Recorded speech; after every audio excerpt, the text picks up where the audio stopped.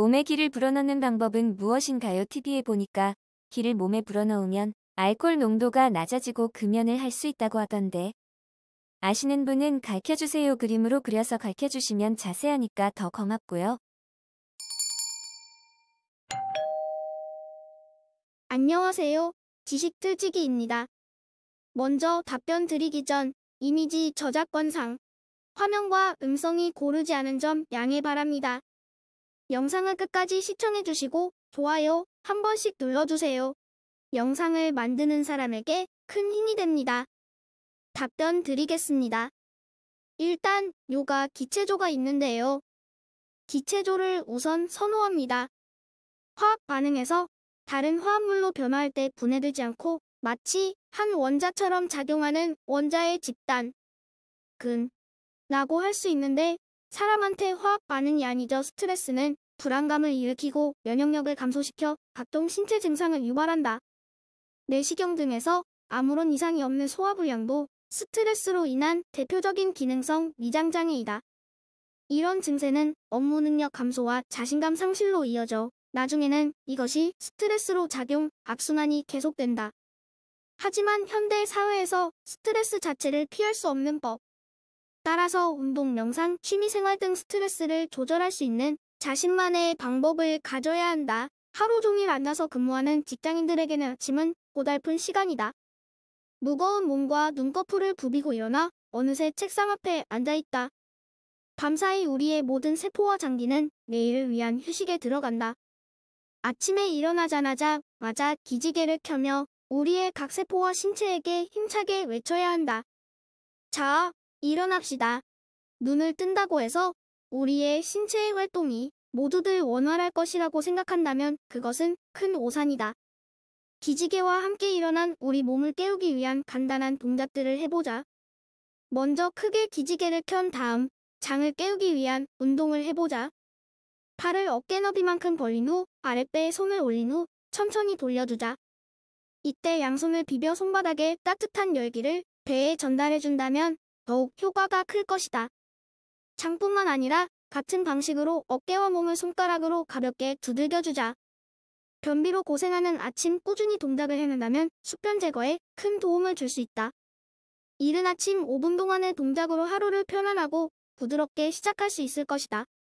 위와 같은 명상법을 실시했더라도 사무실에 근무하다 보면 온갖 스트레스와 잡무에 시달리기 십상이다. 그러다 보니 자연스레 담배와 커피에 익숙해지고 난잡한 하루는 더해갈 수밖에 없다. 이럴 때 참선을 통하여 잠시 무념무상의 상태에 잠겨보자. 명상을 할 때 나의 늪하는 잠을 잘 때나 활동을 할 때와는 다른 상태의 파장을 띈다. 우리가 적당히 긴장한 상태에서 나오는 베타파라는 파장은 지나치게 긴장할 경우 빠른 베타파로 전환이 된다. 이 스트레스가 지속되면 암, 유고양, 면역기능 저하, 고혈압, 당뇨 등 각종 성인병에 걸리기가 쉬운 것이다. 한마디로 스트레스가 많은 사람들은 성인병에 걸릴 확률이 많다는 것이다. 따라서 베타파를 줄이고 알파파 상태를 만들어 주어야 질병을 예방하고 건강을 유지할 수 있다. 우리가 알파파의 상태에 머무르기 위해서는 명상을 하거나 조용한 음악을 들으며 쉬는 것이 사무실 책상에 허리를 곧게 펴고 잠시 앉아서 눈을 감고 잠시 쉬어보자. 자연의 소리나 고요한 명상음악이 더해지면 더욱 좋다. 이러한 참선법은 우리 인체의 알파파를 증가시켜 머리를 맑게 하여 집중력을 강화시켜 줄 뿐 아니라 스트레스로부터 탈피하여 각종 성인병으로부터 해방되는 효과를 보게 해준다. 이러한 참선을 통해 한층 안정된 자신을 발견할 수 있을 것이다. 부드럽고 일처리도 깨끗한 나의 하루 업무는 참선을 통한 지속적인 수련의 결과일 것이다. 양손을 밑으로 당기듯이 압을 주고 지그시 뒤쪽으로 이동하며 눌러준다. 이행선으로 또다시 5에서 10초 정도 눌러준다. 탈모 예방 및 완화에 효과가 있다. 옆머리를 좌우로 유동압을 주면서 움직인다. 피아노를 치듯이 머리 전체를 두들겨준다. 옆머리를 손가락 끝에 힘을 주고 손으로 빗질하듯 두피를 자극해가면 뒤로 밀어준다. 두피에 자극을 주어 뇌에 혈액 공급이 원활하게 되도록 돕는다. 점심 식사 후 졸림증을 머리 마사지를 통해 완화시킬 수 있다. 자세가 불안정해 목과 어깨의 위치가 비틀려 쏠림이 심하면 목과 어깨 주변의 근육이 경직되어 신경통이 생기며 편두통, 목 디스크, 호흡기, 심폐기능 등의 장애 요인이 된다. 체형의 쏠림을 예방하는 최선책은 일상생활에서 활동할 때 몸을 균형적으로 활용하는 것이다. 아울러 몸의 불편한 곳을 찾아내 자연스럽게 될 수 있도록 요가 운동을 해줘야 한다. 자가 진단할 수 있는 방법은 무릎을 꿇고 앉아 등 뒤에서 까지 끼고 상체 앞으로 구부렸을 때 90도가 정상인데 그보다 작을 경우는 비틀려져 있는 것이다. 같은 자세를 지속적으로 반복하면 훨씬 좋아진다. 무릎을 꿇고 양팔을 주먹을 쥐고 몸 가까이 대고 양팔을 흔들어준다. 팔을 올릴 수 있을 만큼 최대로 올리고 앞뒤로 팔을 움직여보자. 또한 무릎을 꿇고 양팔을 몸 뒤로 돌리고 양손을 깍지를 끼고 허리를 굽힌다. 상대적으로 팔은 쭉 뻗고 상체를 앞으로 숙인다. 이와 같은 운동법은 의자에 장시간 앉아있는 직장들의 허리 통증, 변비통 등을 해결할 수 있다. 명상, 요가 등을 좀 더 깊이 배우고 싶은데 시간을 내서 배울 수 있는 여건이 되지 않는다면 가정이나 회사에 있는 컴퓨터를 통해 이세계 www 기세이지 컴 강좌를 시청하는 것이 큰 도움이 될 것이다. 1. 주위에서 자기가 변화시킬 수 있거나 통제할 수 있는 것을 찾아내보자.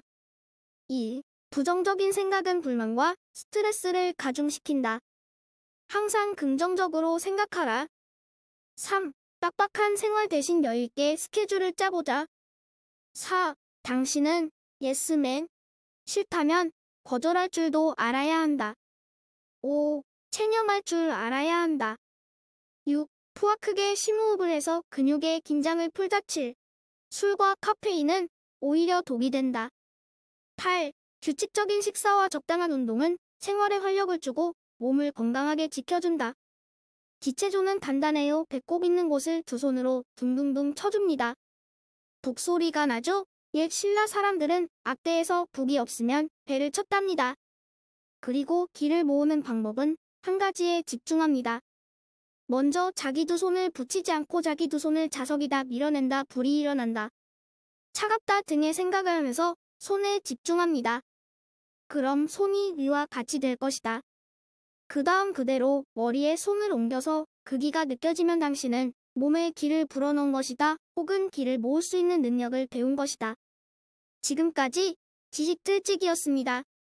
다음 영상은 더욱 호기심 많은 질문들로 데이트될 예정입니다. 구독하시면 일상생활에서 가끔 궁금한 질문들이 함께할 것입니다. 지식과 상식 얻어가세요. 감사합니다.